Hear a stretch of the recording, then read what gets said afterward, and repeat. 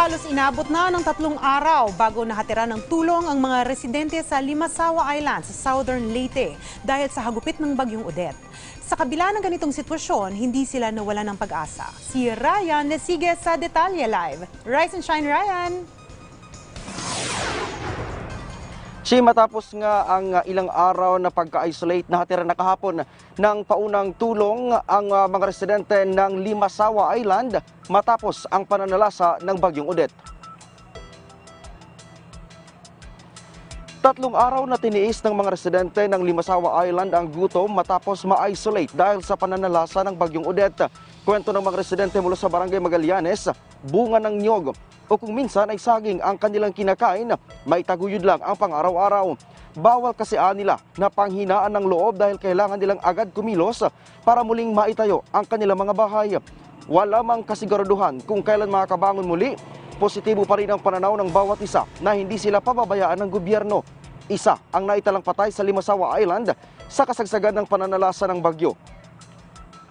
ng mga kamag-anak sa Gato family ay paalam ko lang sa inyo na si Tatay Tiro ay patay na sa buong isla siya lang ang nadisgrasya siya lang namamatay sa lahat ng ah, tao dito.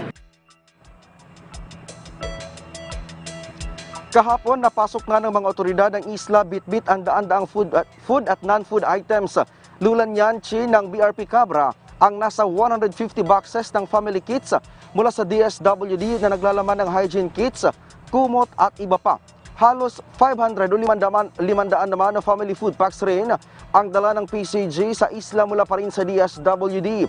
Ang Police Regional Office 8 naman sa pangunguna ni Police Brigadier General Romel Cabagnot ay nagpadala rin ng mahigit isandang sako ng food packs.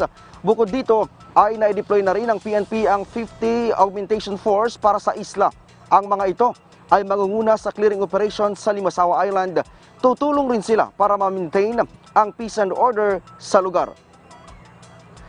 Alam mo, Chi, kalunos-lunos ang uh, itsura na ating inabutan kahapon doon sa Limasawa Island dahil halos uh, 70% ng uh, mga kabahayan ay uh, talagang uh, hindi pinalampas ng hagupit nitong si Bagyong Odette. Ang hiling ngayon ng lokal na pamahalaan, agarang resupply ng mga relief goods dahil yung mga naunang relief goods na ibinagsak doon ay magtatagal lamang ng dalawa hanggang tatlong araw. Ngayon, walang kabuhayan, walang kuryente at walang linya ng komunikasyon sa buong isla. Chi. Maraming salamat, Ryan Lesigues.